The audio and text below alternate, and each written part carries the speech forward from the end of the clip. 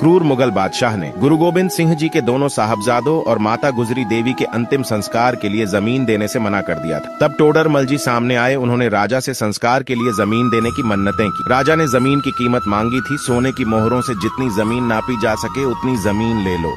लेकिन जब सोने की मोहरे बिछाई जब मोहरें बिछानी शुरू की, तब धूर्तता और कपट में संलिप्त मुगल बादशाह ने ज़्यादा रकम ऐंठने के लिए आड़ी नहीं खड़ी मुद्राएँ।